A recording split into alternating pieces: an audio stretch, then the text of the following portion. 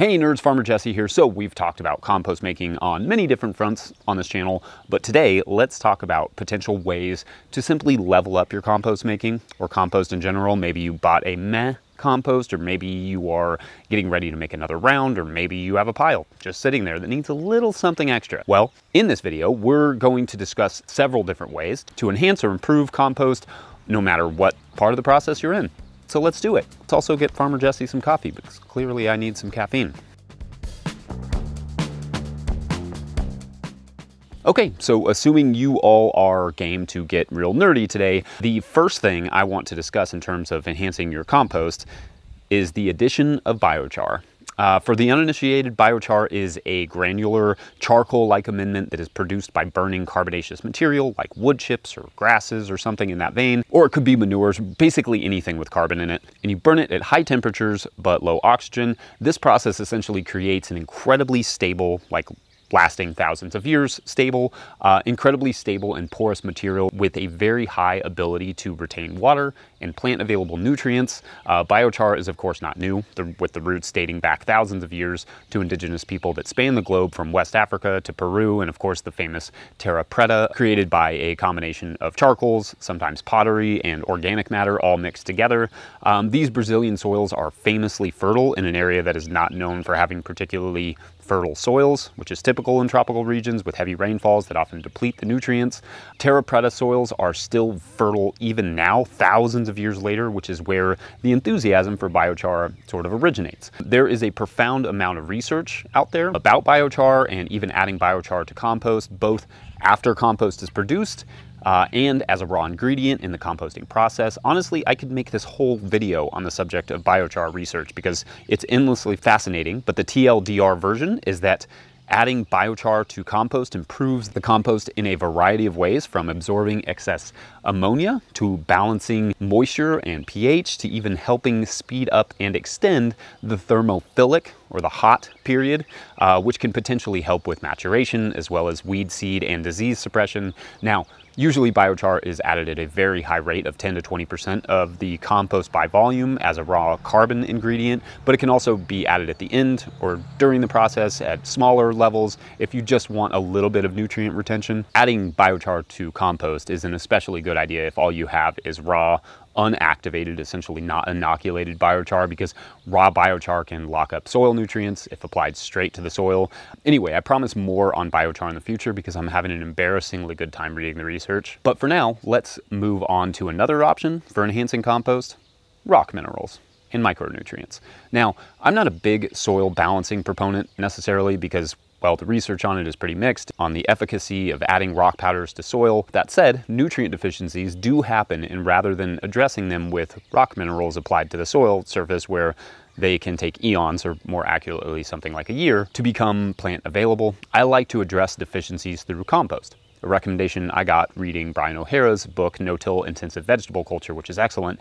Uh, the reason I like running rock minerals and things like kelp through compost before applying it to the soil is that plants can't really eat rock minerals. Plants need a microbe to use its little keys called enzymes to unlock that nutrient, whatever nutrients it needs, from rock minerals before the plant can utilize that nutrient. Uh, therefore, adding rock minerals to soil is a very slow path to correcting plant deficiencies. Adding those same rock minerals to a compost pile, however, where the microbiology is, and excuse the jargon, going absolutely bonkers can help make the deficient nutrients available much more rapidly.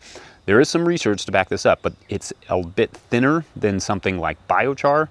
Anecdotally, uh, I have corrected blossom end rot in peppers, a known calcium deficiency, with a compost to which I added heavily crushed eggshells, uh, the smaller the better, for one week. Uh, I dug a, a, light four inch trench down the middle of the bed and filled it with the compost and then covered it back up. Within days, the plants were dark green and the blossom end rot was completely gone. Again, not science, but for me, it was convincing enough. Uh, so anyway, at least consider adding rock minerals to compost if you're seeing deficiencies in your soil as one option. For application rates, less is usually more with this stuff because you don't want to throw off other nutrients, just make sure whatever you add to your compost pile is well incorporated. I like adding a little bit throughout the pile as I turn it. That just gets it in there nice and even. Real quick, there's only so much I can cover in a video, so if you really want a robust roadmap for using compost in the no-till garden, pick up a copy of the Living Soil Handbook from no-tillgrowers.com, which also conveniently helps support more videos like this.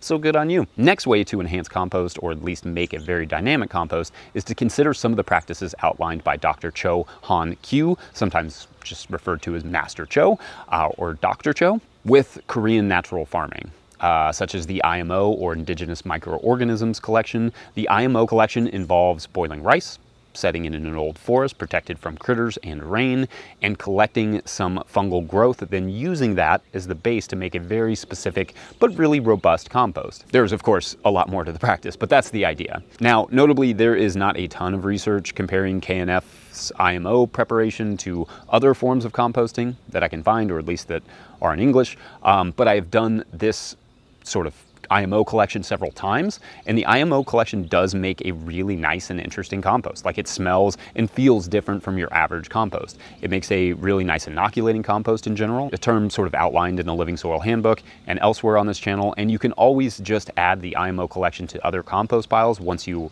have it stabilized in brown sugar. Uh, Chris Trump has the most helpful series of videos I've seen on this subject, which I'll link in the show notes. I do hope for more research on KNF in the future, but play around with it and see what you think, uh, especially if you're a researcher. That would be super helpful. Thanks. Okay, another option for leveling up compost is simply finishing your compost with worms. I love worms. Worms have extraordinary guts, which I don't say that about everybody, capable of increasing the nutrient content and microbial diversity of composts, buffering the pH while digesting some pathogenic organisms, and increasing that material's water holding capacity and that is such an abbreviated, oversimplified list of what earthworms do to the stuff they ingest as to almost be insulting. But it's good to make the compost first in the traditional thermophilic manner as described in this video here.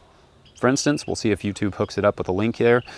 The thermophilic, or the hot part of the composting process, helps eliminate the weed seeds, as I mentioned earlier, and some of the pathogenic organisms. Um, and then the worms sort of reinstall the good stuff. Composting is sort of like pasteurization while also being the complete opposite at the same time. Okay, this seems like something I would have put at the beginning of this video, but I cannot emphasize enough the importance of using a diversity of inputs in making good, balanced, rich, and microbially diverse compost. For instance, chicken manure is known for its high nitrogen, but chicken manure is also dominated by different fungi and bacteria than, say, goat manure, which itself is dominated by different microbes than, say, cow or horse manure, and so on. Um, the quality and diversity is, of course, driven by the animal's diets, but using a variety of manures and other nitrogen sources, as well as a variety of carbon sources from wood chips to straw and so on, that's what makes a really rich and robust compost. Um, we can never assume we know what plants need or soil needs at any given moment. So having as, as diverse of a compost as possible is the best way to ensure we get the soil and plants what they need. Okay, before I get to the last way to enhance your compost, if you enjoy these videos, please consider supporting them and all of our work at patreon.com slash no-till growers.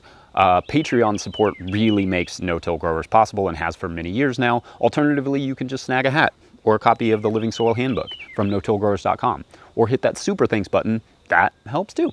Okay, so the last way to enhance compost is not going to sound like something particularly um, surprising or revolutionary, but the research around it is actually pretty interesting. That ingredient, time, or more specifically, maturation. Before you're like, nah, that's not very interesting. The science there is actually pretty cool. So the thing is that immature composts can have a wide diversity of microbes, but they can also contain and support disease-causing organisms. Uh, mature composts, loosely defined as composts that have fulfilled their thermophilic, again, the hot stage, and been allowed to rest, leveling out at roughly 10 to 1 carbon to nitrogen ratio if you want to get technical. The particles in mature compost tend to be smaller, which makes it easier for microbes to release those particles and nutrients. Um, mature compost may be more stable in terms of pH, favor more beneficial organisms. I'm also as guilty as anyone of using compost that is perhaps a little bit immature than I should have, but the advantages of waiting until the compost is fully mature are not small. Conversely, you don't want to use a compost that has matured to the point of not having anything left to offer to the soil beyond leach out you know, organic matter, like a pile that's just really old and has been sitting there for a long time, you probably want to avoid. Probably has some weed seeds and probably won't add a lot to your soil beyond just maybe some organic matter, which isn't the worst thing. Knowing when a compost pile is totally mature is a little complicated and subjective, but generally what I recommend is waiting very least a few weeks after the thermophilic stages have ended. If the material you used was very large, like large wood chips, then maturation will take longer than for, say, shredded straw. Um, compost should feel crumbly, plus smell rich, and truly not anything like manure. A good general timeline is three to six months total, though six months is the safer bet. That's why I like to make compost in the fall, then use it in the spring. It's a good maturation period. Anyway, let me know what you would have added, subtracted, or multiplied from this list. Oh, I guess you do use math after high school. Like this video if you like this video. If you are not subscribed to this channel, make sure to hit the subscribe button. And if you are subscribed, you're awesome. Otherwise, thanks for watching. We'll see you later. Bye.